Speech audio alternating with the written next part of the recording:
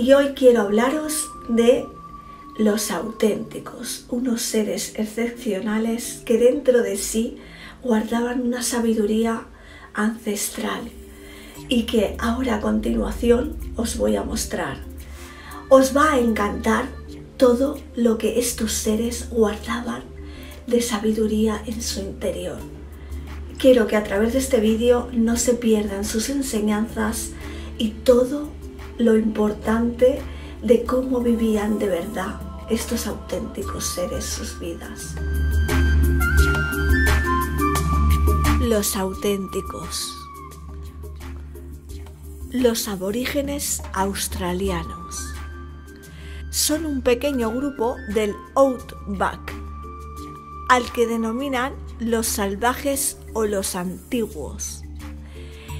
Se llaman así por su manera de vivir la vida y las enseñanzas tan auténticas que estos nos muestran.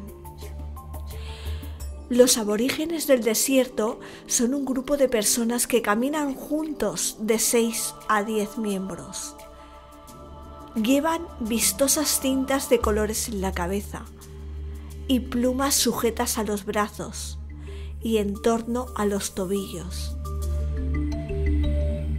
Los hombres visten con una especie de taparrabos, llevan pinturas con dibujos en el rostro, brazos y piernas, con una especie de puntos blancos, rayas y figuras más complejas.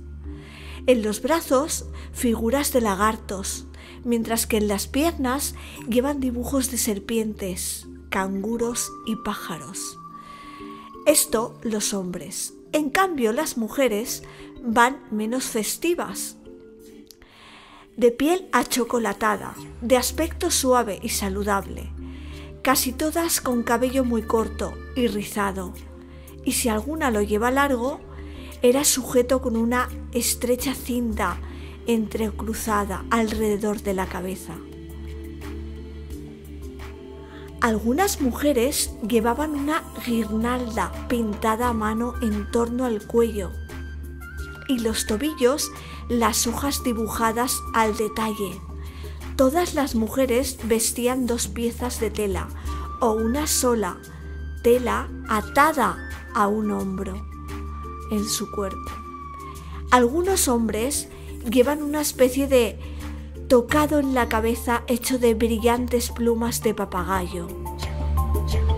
Llevan una especie de peto circular de intrincada artesanía hecha de piedras y semillas.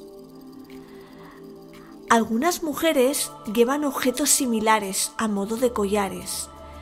Algunos llevan lanzas, cuyas lanzas cuando festejan alguna cosa las golpean en el suelo y otros aplauden y cantan. Se sientan en corro y algunas veces bailan, ellas solas, con sus brazaletes de los tobillos moviéndose y chesqueando las semillas que llevan en él. Al bailar expresan la historia y costumbres de su pueblo que finaliza el sonido del baile cada vez más despacio, sintonizando con los latidos del corazón, hasta que cesan por completo el ritmo del grupo y solo queda silencio. Y todos permanecen en silencio mirando al jefe de la tribu. El jefe lleva colgado una especie de tubo de piel de ornitorrinco atado a su cintura Dentro de este una especie de objetos que utiliza para adivinar cosas, que son huesos, rocas, dientes, plumas y discos de cuero. Ellos mismos se hacen llamar los auténticos. Andan muchísimos kilómetros por el desierto y saben cómo sobrevivir y alimentarse y hacer fuego sin apenas leña ni cerillas. Van descalzos y si se pinchan o les duelen los pies, fijan su atención en otra cosa y prosiguen su camino, junto con el grupo y solo paran a comer, descansar o dormir cuando todos están de acuerdo. Y es entonces cuando sacan una especie de engüento hecho de aceite de hojas. Se fregan y masajean sus pies al tiempo que les hablan a estos en su lenguaje y les dicen en una melodía tranquilizadora, como si de una nana se tratase, le cantan pidiéndole perdón a sus pies. Le dicen que los aprecian mucho y les piden que se pongan buenos y fuertes. Hace sonidos especiales para que se desinflamen sus pies y extraen fluidos de los hinchazones mientras cantan. Y estos se curan rápidamente y las llagas comienzan a aplacarse. En el grupo, cuando acampan a comer y hacer noche, cada uno es el encargado de hacer unas cosas. Unos encienden fuego y hacen la comida. Otros se dan friegas a otros en hombros y espalda, incluso cabellos. Cada uno de ellos recibe un nombre al nacer, pero se sobreentiende que lo perderá cuando crezca y que elegirá un apodo más apropiado por sí mismo. Es de esperar que el nombre de cada persona cambiará varias veces durante su vida, a medida que su sabiduría, creatividad y sus objetivos se definan a sí mismo con mayor claridad al transcurrir el tiempo. Nombres tales como el cuentista, el hacedor de herramientas, guardiana de los secretos, maestra en costura, gran música, etc. El té de roca aborigen se reserva para ocasiones especiales y lo suelen hacer en un cuenco en el cual había sido la vejiga de algún animal. Cuando tienen que ir a dormir, cada cual se aplanaba su espacio de arena y se cogían cada uno la piel de un dingo, el perro salvaje de Australia, similar al coyote o al lobo. La piel del dingo la utilizaban tanto para ponérsela debajo o para apoyar la cabeza o tal vez para taparse según el tiempo que hiciese. Por la mañana, al despertarse, todo el grupo tiene por costumbre centrarse y de fijar un objetivo cada mañana. Y el modo de hacerlo es formar un semicírculo cerrado, encarados todos hacia el este, entonces el anciano de la tribu se pone en el centro y entona un cántico, al tiempo que el resto siguen al cántico golpeando los músculos, dando palmadas y patadas en el suelo durante unos 15 minutos. Una rutina que se repetía cada mañana. Era la plegaria matutina esta gente cree que todo existe por una razón. Todo tiene un propósito. No hay monstruos inadaptados ni accidentes. Solo hay malentendidos y misterios que aún no se han revelado al hombre mortal. Según estos aborígenes, el propósito del reino vegetal es alimentar a los animales y los humanos mantener la tierra firme, realzar la belleza y equilibrar la atmósfera. Según ellos, las plantas cantan a los humanos en silencio y todo lo que piden a cambio es que nosotros les cantemos a ellos. Creo que se refieren al intercambio entre el oxígeno y dióxido de carbono de la naturaleza. La tribu de los auténticos nunca se queda sin comida a pesar de nunca llevar provisiones, ni plantaban semillas. El universo no les decepcionaba nunca. Ellos creen que el mundo es un lugar de abundancia, Así pues, cada mañana la tribu envía un pensamiento o mensaje a los animales o plantas que nos aguardan.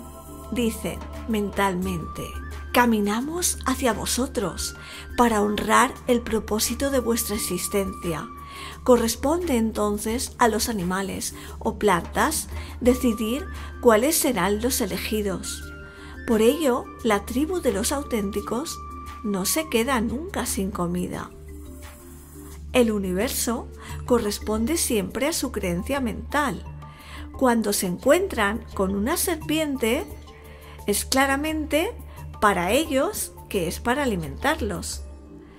Ellos comienzan cada mañana dando gracias a la unidad por el día y piden a la vida lo que necesitaban y después decían esto, es por el bien supremo y por el supremo bien de la vida en todas partes, y todos con seguridad en sí mismos de que recibirán diariamente las generosas bendiciones del universo. El universo jamás los decepcionaba nunca. Para beber agua llevaban encima varios pellejos de agua hechos de vejigas de animales. Los aborígenes no necesitaban beber tanta agua. La utilizaban más que nada para hacer las comidas. Sabían encontrar agua donde no había el más mínimo indicio de humedad. En ocasiones se tumbaban en la arena y oían el agua bajo la superficie. Utilizaban largas cañas huecas en la tierra. Sorbían por el extremo y creaban una especie de fuente. Sabían sacar agua de una grieta rocosa. Estos aborígenes tienen la facilidad de comunicarse telepáticamente a 30 kilómetros de distancia con otros aborígenes. Y tienen esta facilidad porque no mienten nunca y nunca tienen nada que ocultar. No tienen miedo a abrir sus mentes para recibir y así están dispuestos a darse información mutuamente. Según ellos, nosotros, los humanos, estamos destinados a comunicarnos mediante la telepatía. Los diferentes alfabetos y diferentes lenguas son obstáculos que se eliminan cuando las personas utilizan la comunicación mental. Pero aquí no funciona, porque aquí la gente roba, miente, en su sentido literal. Hay demasiado engaño, demasiado dolor, demasiada amargura que ocultar. Los auténticos no creen que la voz estuviera destinada al habla. Para hablar se necesita el núcleo, corazón, cabeza. Cuando se utiliza la voz para hablar, uno tiende a enredarse en pequeñas conversaciones innecesarias y menos espirituales. Según los auténticos, la voz está hecha para cantar, para elogiar, para sanar. Según ellos, todo el mundo tiene múltiples talentos. Ellos me enseñaron que tenemos que perdonarnos a nosotros mismos, aprender del pasado en lugar de juzgar, que lo fundamental era aceptarse, ser sincera y quererse a sí misma, para obrar de igual manera con los demás. Para los auténticos hay que aceptar y rendirse a las cosas que no puedes cambiar, en vez de luchar. Los aborígenes no celebran sus cumpleaños, no lo ven necesario, no lo ven interesante celebrar algo que sucede sin ningún esfuerzo. Lo que sí celebran es que si cada año se vuelven más sabios, y uno mismo es el único que avisa a los demás si ese año se celebra o no. Estos aborígenes saben cómo tratar a base de raíces y tallos de algunas plantas los dolores de cabeza, invasiones bacterianas, parásitos estomacales, cómo eliminar verrugas, duricias del cuerpo, Sabían cómo limpiar su sangre machacando algunas raíces y poniéndolas a remojo con agua. Se las frotaban por el cuerpo y estimulaban las glándulas linfáticas y así ayudaban al sistema inmunológico. También un árbol parecido al sauce lo utilizaban para malestares internos, dolor producido por fracturas o torceduras, punzadas, músculos o articulaciones y también eficaz en erosiones de la piel, ya que contiene las propiedades de la aspirina. Otras cortezas se utilizaban para diarreas y con la resina de algunas otras mezclaban con agua jarabe para la tos. También comen algunos pétalos de flores por su acción contra la bacteria tifoidea. De este modo favorecían su sistema inmunológico, como nosotros con nuestras vacunas. También conocen los auténticos beneficios de un gran hongo australiano llamado cuesco de lobo. Contenía una sustancia anticancerígena llamada albacina y también las propiedades anticonceptivas naturales del solano australiano hace siglos. Para los auténticos, las nuevas vidas que llegan al mundo deben hacerlo por decisión propia con el propósito de amarlas y darles la bienvenida. Una nueva vida para la tribu de los auténticos ha sido siempre desde el principio de los tiempos un acto consciente. El nacimiento de un niño significa que han proporcionado un cuerpo terrenal a un alma compañera. Estos nos dicen, todos los espíritus son seres que existen para siempre, todos los encuentros con otras personas son experiencias y todas las experiencias son relaciones para siempre. Los auténticos cierran el círculo de cada experiencia. Según ellos, dicen, no dejamos cabos sueltos, como los mutantes. Así nos llaman a nosotros. Si te alejas con malos sentimientos en el corazón hacia otra persona y ese círculo no se cierra, se repetirá más adelante. No lo sufrirás una sola vez, sino una y otra hasta que lo aprendas. Es bueno observar, aprender y almacenar la experiencia para ser más sabios. Es bueno dar las gracias, dejarlo bendecido, como vosotros decís, de alejarse luego en paz. Para los auténticos, curar no tiene absolutamente que ver con el tiempo. Para ellos, tanto la salud como la enfermedad se producen en un instante. Para ellos, nuestro cuerpo es el único medio que tiene nuestro nivel superior de conciencia para comunicarse con nuestro ser. Curaban al instante para ellos la enfermedad es una oportunidad en observarnos y analizar las heridas que son realmente importantes y que hemos de reparar. Las relaciones en crisis, las brechas abiertas en nuestro sistema de valores, los tumores amurallados del miedo, la fe erosionada en nuestro Creador, las emociones insensibilizadas que impiden el perdón y tantas otras cosas, porque ellos curar a alguien lo consiguen rápidamente por medio de la intención. La acción es tan solo un canal mediante el que se permiten expresar y experimentar el sentimiento. La intención ellos envían para curar pensamientos de perfección al cuerpo. La cabeza y el corazón desempeñan un papel tan importante como el de las manos.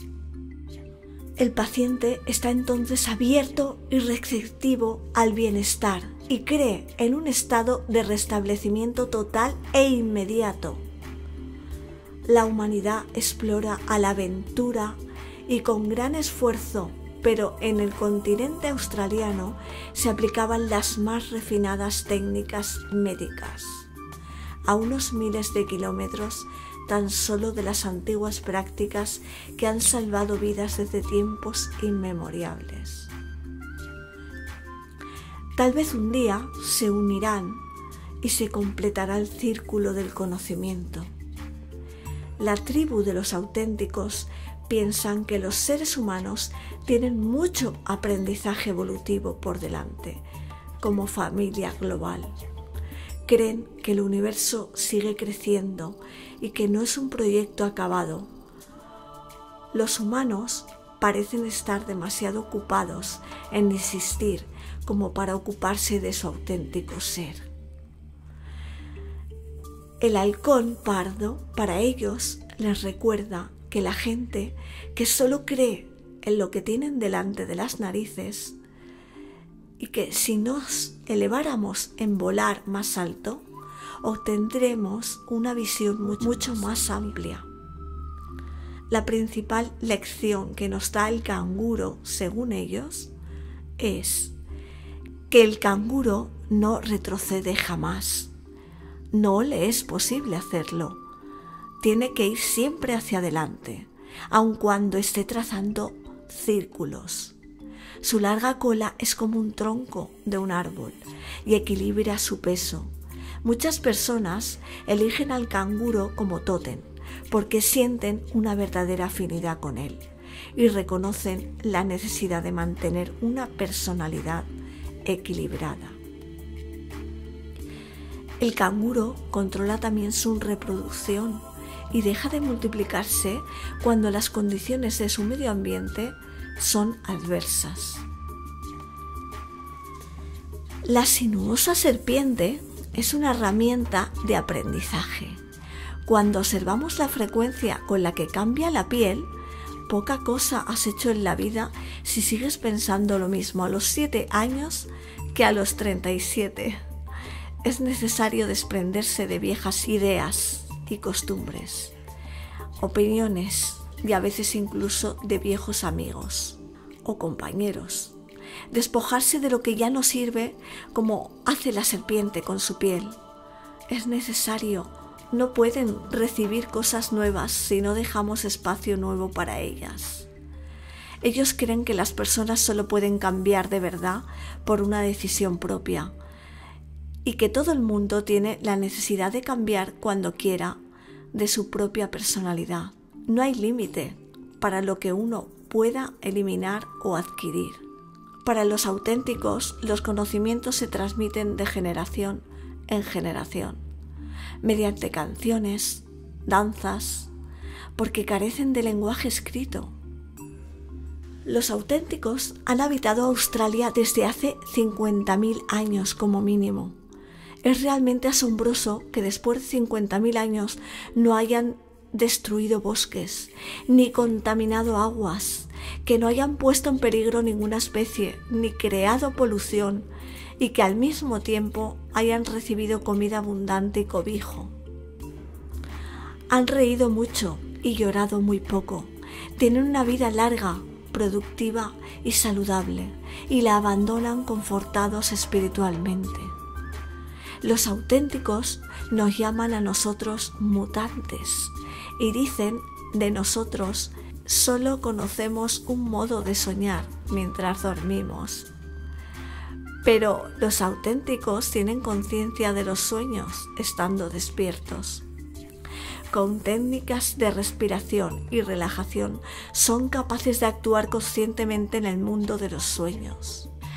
Jesús para ellos es el Hijo de Dios, nuestro hermano mayor, la divina unidad de forma humana. Es objeto de la mayor de las veneraciones. La unidad vino a la tierra para decirles a los mutantes cómo debían de vivir, lo que ellos habían olvidado. Nosotros ya vivíamos su verdad. Para nosotros su verdad no es una cosa. Los mutantes parecen adictos a la forma no acepta nada invisible y sin forma.